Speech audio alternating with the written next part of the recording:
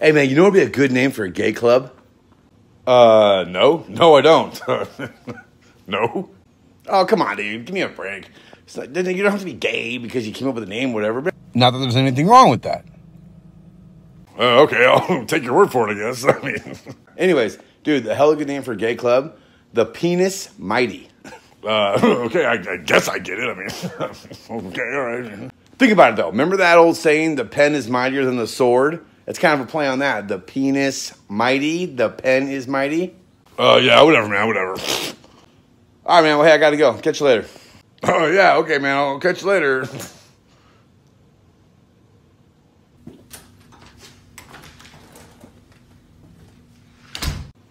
Hey, do you know how to spell mighty? Oh, hey.